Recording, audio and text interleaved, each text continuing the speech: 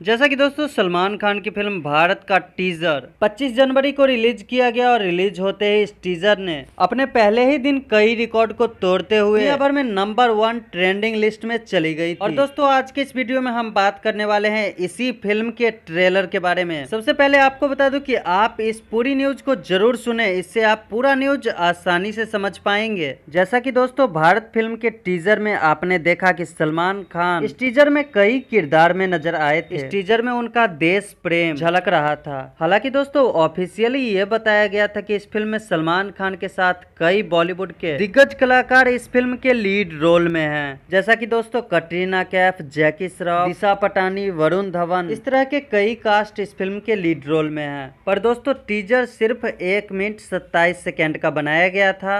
हालाँकि टीजर अमूमन इतने ही देर का दिखाया जाता है और इस टीजर में सिर्फ़ और सिर्फ़ सलमान खान को ही दिखाया गया था। हालाँकि इस टीजर ने रिलीज़ होते ही दुनिया भर में अपने पहले ही दिन में सबसे ज़्यादा व्यूज़ और सबसे ज़्यादा लाइक पाने वाला टीजर बन गया और फिर नंबर वन ट्रेंडिंग लिस्ट में पहुँच गया। हालाँकि सलमान खान की फ़ैन फॉलोइंग इतनी ज़्यादा है कि उनके लिए ये सब आम बात हो चुकी है। इस तरह की रिकॉर्ड तो वो तोड़ते ही रहते हैं। अब दोस्तों बात करें इस फ़िल्म के ऑफिशियल ट्रेलर की। तो ऑफिशियली इस फ़िल्म के ट्रेलर को लेकर अभी तक कोई रिपोर्ट सामने नहीं आया है। लेकिन इस फ़िल्म को 5 जून को ईद के मौके पर रिलीज़ किया जाएगा। तो दोस्तों, इससे ये तो कंफर्म है कि इस फ़िल्म के ट्रेलर को अप्रैल महीने के लास्ट वीक में रिलीज़ किया जा सकता है। और इस ट्रेलर में आपको सलमान खान के साथ कटरीना कैफ, दिशा पटानी, जैकी श्रॉफ और वरुण धवन की एक्टिंग भी देखने को मिल सकती है। अब दोस्तों, इतना ज़्यादा कास्ट वाले सलमान खान के इस फ़िल्म के ट्रेलर को दर्शकों के सामने किस तरह प्रेजेंट किया जाता है, ये देखना काफ़ी दिलचस्प होगा।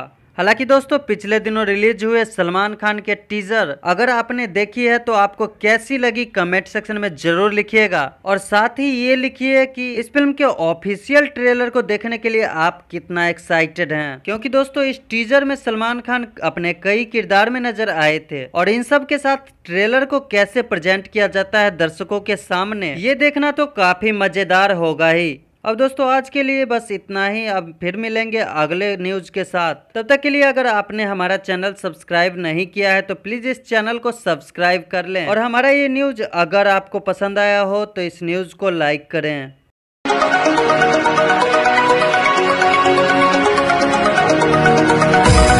Subscribe my channel and press the bell icon.